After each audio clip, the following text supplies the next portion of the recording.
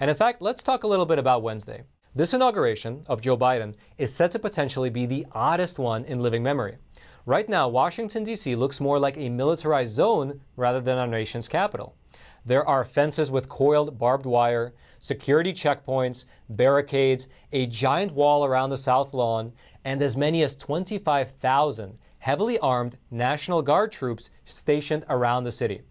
Videos that we saw that were shot by reporters or by people who are living in the city, they show streets being closed, workers putting up miles of barricades, shops and offices being boarded up, and of course an increased military presence. Things like military vehicles can be seen parked on downtown streets, and armed guards are checking identification for people leaving and entering the city. So that indeed looks very militarized. In fact, the number of military troops in Washington, D.C. is 10 times the number of troops that America currently has in Iraq and Afghanistan combined. So how much is all this going to cost? Well, officials are estimating that this inauguration will wind up costing about $45 million. In terms of the amount of people who will actually be attending the inauguration, likely it'll be pretty small.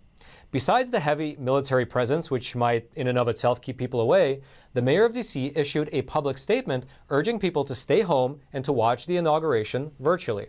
Also, Airbnb is canceling all of their Washington, D.C. reservations during the inauguration weekend. And so there won't even really be that many places to stay. And right now, I heard reports that most of the hotels in Washington, D.C. are booked by the soldiers. So now, some are criticizing this extreme level of security, saying that our nation's capital is like a pendulum. It swung from having uh, the bare minimum amount of security on January the 6th to now being a militarized zone today.